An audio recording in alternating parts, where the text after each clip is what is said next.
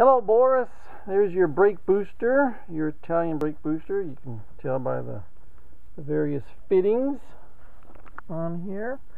Anyway, I've got a new, another air filter unit, another assembly, and it looks like this one's working. Uh, it's, a, it's a good used one, so we'll give it a test.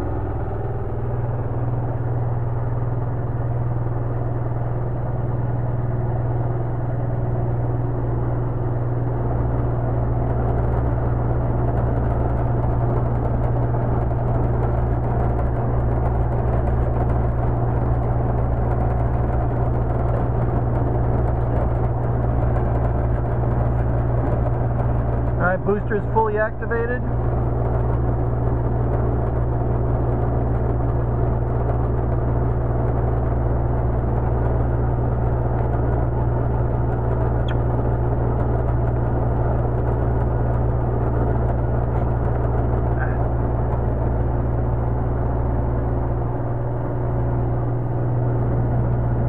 My vacuum hose came off.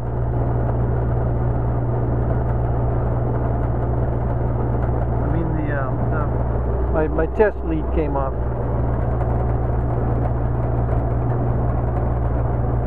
Recycle the booster. Go back to zero. I mean to 21 inches.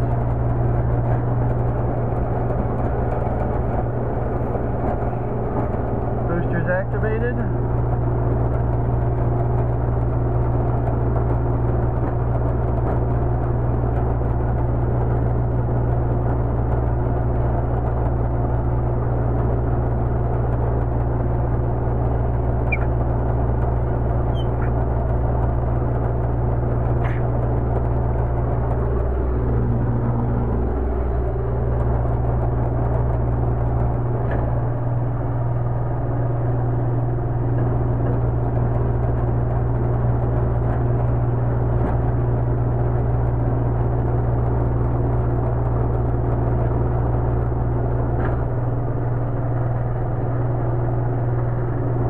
Alright, this is the situation. See, we've got 21 inches of vacuum, but when we activate the booster, booster's activated, that drops to about 19. And the loss,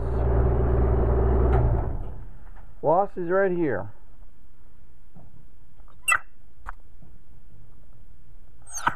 Got a little bit of vacuum loss through there. It's a lot less than what we had with your unit. And this is a problem everybody is going to face eventually with these brake boosters because this air filter assembly is not available and has not been available for many years, which is really irritating because Mercedes reproduced these boosters and sold them for huge amounts of money, and so that means they had to make these. Um, air filter housings, but they didn't make uh, any extras to put into the uh, supply chain so that we could have some spare parts, uh, which is uh, what I would call really, really mean and evil. The problem is, there's two problems. All right. This is a rubber sealing surface right here, and it has to seal against this ring right here in this diaphragm. So the relationship is that's how this goes together, and this has to seal. And this is the one off of your booster from uh, Italy, and you can see that this is no longer a smooth surface. This is all lumpy because there's rust underneath there. In addition to this seal right here, let's see. Let me get another unit here.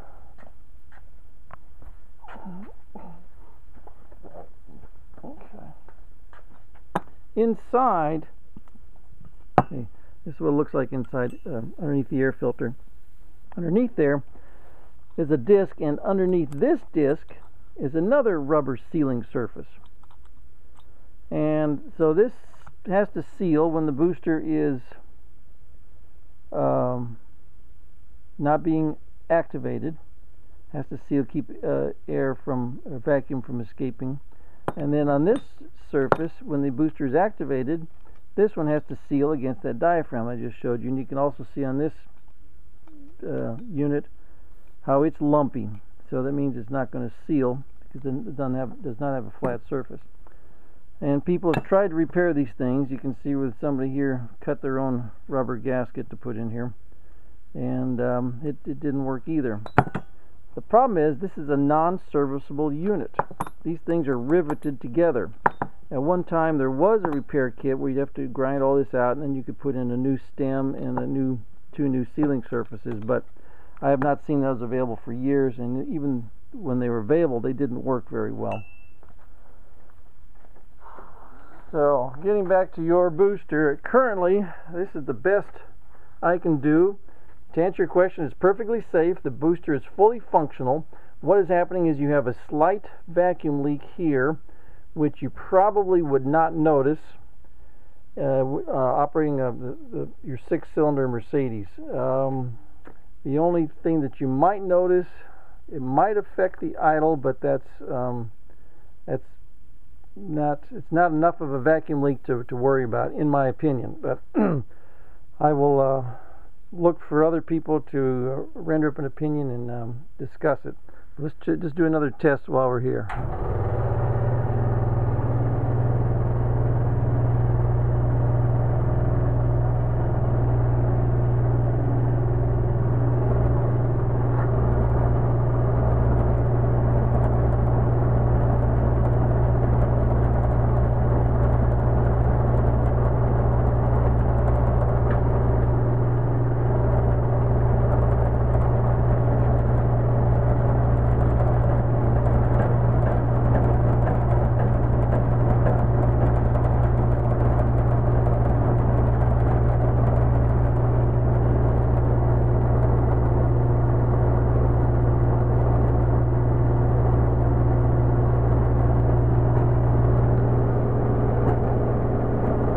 See, we have full, excuse me, Let's pressurize the booster again.